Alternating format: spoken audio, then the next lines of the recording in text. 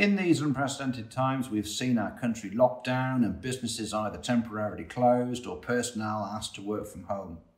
As we see the numbers reduce of daily fatalities from COVID 19, the restrictions will be lifted and people will start to venture out from the safety of their homes. They'll be wary of going into areas where there's a lot of human traffic and social distancing will continue to be the norm.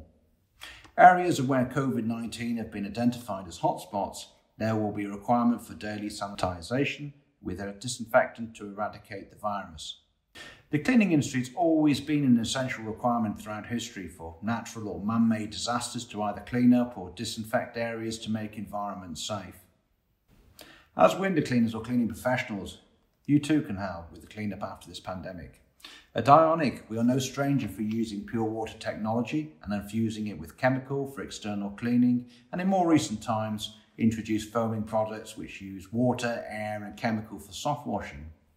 In light of the pandemic, we've been able to utilise our technology and expertise and produce truck mounted disinfectant systems that not only can spray disinfectants but can also incorporate fogging capabilities for applying specialist quat based chemicals for internal use. The fogging lances deliver fine droplets of pure water infused with disinfectant to any internal hard or soft surface, leaving an even thin coated covering to kill COVID 19.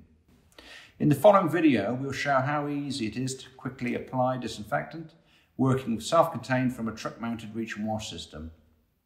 We can either upgrade an existing system to be able to apply disinfectant as a disinfector upgrade, or with additional fogging capabilities as a disinfector plus. As a part of any upgrade or new package, we'll provide training on how to mix and apply disinfectants safely.